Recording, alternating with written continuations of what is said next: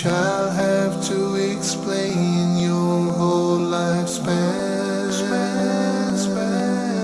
What you did in the open and what you concealed.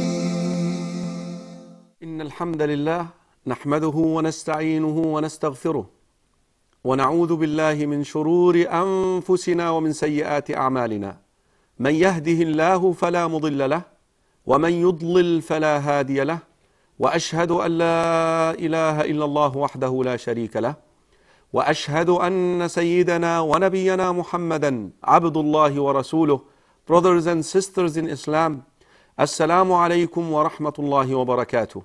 إن صحيح الإمام مسلم حديث حذيفة بن أسيد الغفاري رضي الله عنه He said one day we were sitting with the companions and the Prophet wasallam appeared by all the sudden. And he asked us what are you doing? What are you studying? The companions answered by saying o messenger of Allah we are talking about the hour. The Prophet wasallam said the day of judgment or the hour will not come until you see 10 signs. Ad-dukhan. And he named ad-dukhan the smoke الدجال the antichrist الدابة the beast طلوع الشمس من مغربها the sun rising from the west نزول عيسى ابن مريم the descendants of Isa عليه السلام the second coming of Prophet Isa عليه السلام وخروج يأجوج ومأجوج and يأجوج and مأجوج and three landslides one in the east one in the west and one of the Arabian Peninsula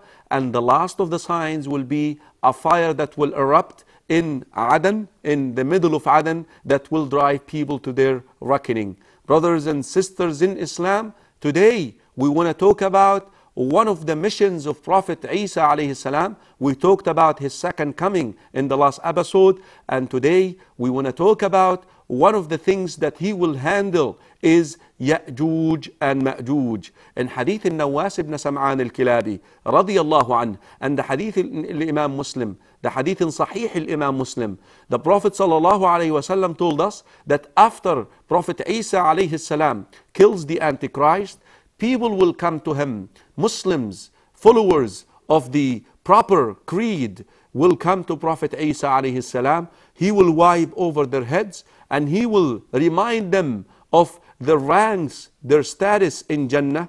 And at this time, Allah subhanahu wa ta'ala will reveal to Prophet Isa alayhi salam that I have allowed, I have decreed for slaves of mine to exit, to be released. And no one can stand in their face, no one can stand in their ways. So take my servants, take the Muslims, and seek refuge and protection in the mountain of Tur. Brothers and sisters in Islam, Rasul sallallahu wasallam is talking about the two tribes of Ya'juj and Ma'juj. Allah subhanahu wa ta'ala talked about those two tribes in the Quran in two surahs, Surah Al-Anbiya and Surah Al-Kahf. In Surah Al-Anbiya, حتى إذا فتحت يأجوج ومأجوج وهم من كل حدب ينسلون واقترب الوعد الحق فإذا هي شاخصة أبصار الذين كفروا يا ويلنا قد كنا في غفلة من هذا بل كنا ظالمين Until the time will come when Allah subhanahu wa ta'ala will allow Ya'juj and Ma'juj to be released and they will come down from all high hills and, and high uh, uh, the tops of the hills and at this time that, that disbelievers will recognize that this is the true promise that Ya'juj and Ma'juj are one of the major signs of the day of resurrection. Brothers and sisters in Islam, who are Ya'juj and Ma'juj? They are from the offspring of Adam alayhi salam. Yes, they are, those two tribes are from the offspring of Adam alayhi salam. What is the evidence? Hadith Abi Sa'id al-Khudri radiyallahu an and the hadith in Sahih al-Imam al-Bukhari wa Muslim.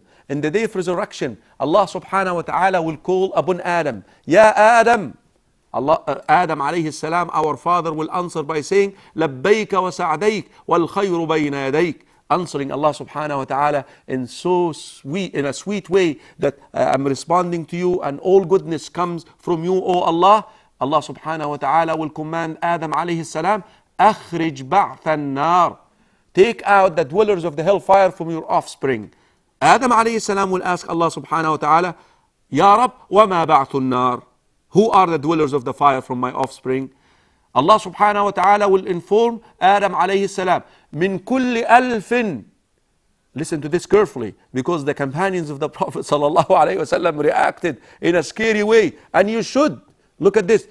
Out of each thousand of your offspring, 999, 999 will go to the hellfire. That means what? Only one person will go to Jannah. Ya Allah. The companions looked at the Prophet wasallam and they said, Ya Rasulullah, wa ayyuna dhaka al-wahid. Who's going to be this one? Rasul sallallahu alayhi wasallam said, Abshiru, glad tiding. From Ya'juj and Ma'juj, 999, and from you one.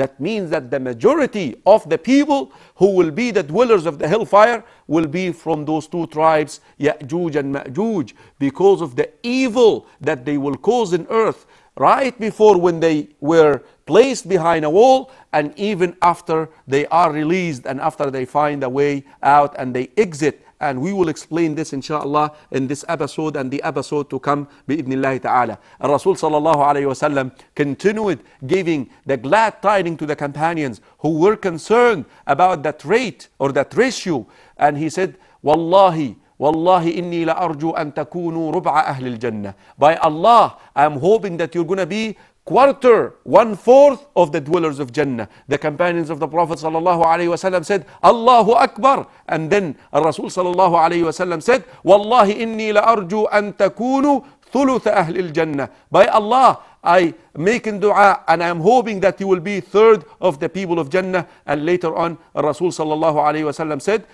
and I'm hoping that you will be half of the dwellers of Jannah. أو كما قال صلى الله عليه وسلم. الشاهد or the important thing from this hadith, brothers and sisters in Islam, that Ya'juj and Ma'juj from the offspring of our father Adam alayhi salam.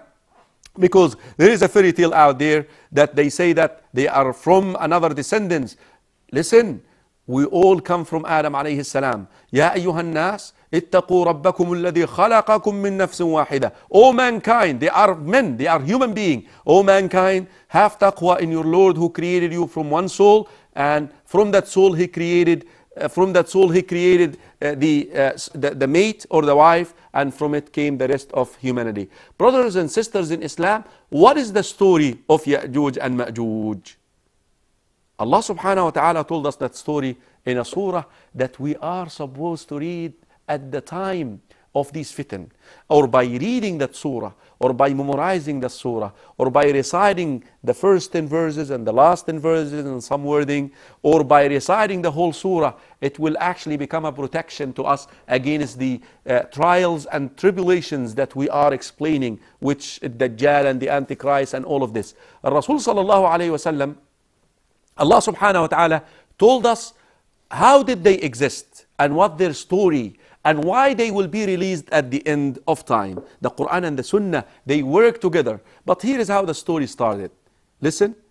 And uh, the one who compiled that story is Muhammad ibn Ishaq, one of the very famous uh, uh, predecessors uh, who uh, was good in combining uh, tafsir and the events and especially the, the, the, the, issues that have to deal with the debates that happened between the Muslims and the non-Muslims at the time, the disbelievers in Mecca. Here is what he said.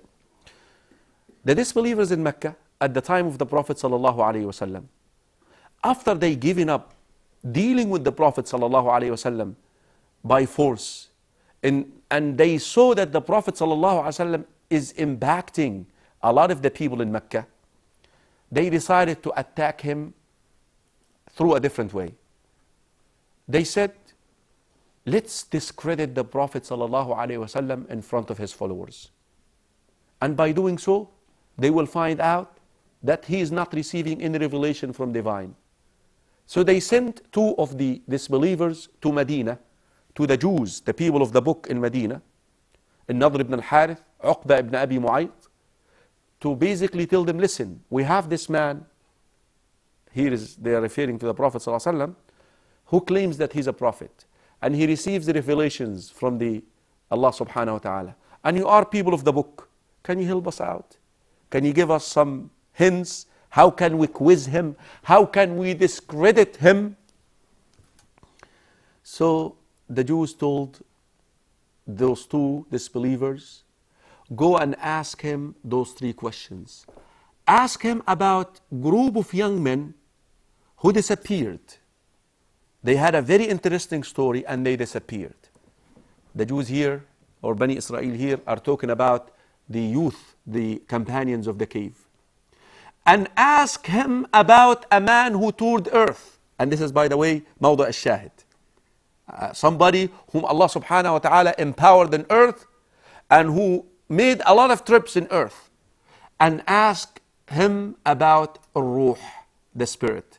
Here is Allah subhanahu wa ta'ala, here is the Prophet as soon as he was asked these questions by the disbelievers, he told them, I will tell them you, I will answer you tomorrow. And Allah subhanahu wa ta'ala told the Prophet ﷺ never to say this again. وَلَا تَقُولَنَّ لِشَيْءٍ إِنِّي فَاعِلٌ ذَلِكَ غَدًا إِلَّا أَن يَشَاءَ اللَّهُ وَاذْكُرْ رَبَّكَ إِذَا نَسِيتَ Don't say tomorrow without saying inshallah. Here is Rasul ﷺ, uh, the revelation was stopped for a period of time, but later on Allah subhanahu wa ta'ala revealed to the Prophet sallallahu alayhi wasallam the answers to these questions, two of them in uh, Surah Al-Kahf and the third one in Surah Al-Isra. The one that we deal with is the one that has to do with the man who toured earth. وَيَسْأَلُونَكَ عَنْ ذِي الْقَرْنَيْنِ And they ask you, O Muhammad, about ذِي الْقَرْنَيْنِ a man whose name is Dhil Qarnayn. Some people say that the man with the two horns. We don't want to get into the speculations of people there. But someone whom Allah subhanahu wa ta'ala empowered in earth and this person used that power. You see, there is no harm, brothers and sisters in Islam, of being empowered in earth, empowered through wealth, empowered through knowledge, empowered through IT, whatever power is out there, as long as utilized, as long as you utilizing this, you are utilizing this to serve the deen of Allah subhanahu wa ta'ala, to serve the cause of Allah subhanahu wa ta'ala. And by doing so, you're helping your own self and at the same time, you're helping the ummah. Here is Dhul Qarnayn, a man whom Allah subhanahu wa ta'ala empowered in earth. إِنَّا مَكَّنَّا لَهُ فِي الْأَرْضِ وَآتَيْنَاهُ مِنْ كُلِّ سَبَبًا We have empowered him in earth and we given him a lot of means. But he did not stop there. Rather, he also added to the means that we bestowed upon him. Brothers and sisters in Islam, Dhul Qarnayn made three trips or more, but Allah subhanahu wa ta'ala recorded in the Quran three trips. One to the west, one somewhere else, and the third one where those two tribes were alive, Ya'juj and Ma'juj. Let's take a short break and come back and talk about the story of this king, Dil Qarnayn, with the two tribes, Ya'juj and. Assalamu alaikum wa rahmatullahi wa barakatuh. The scale of justice will be broke before man. Now you shall have to explain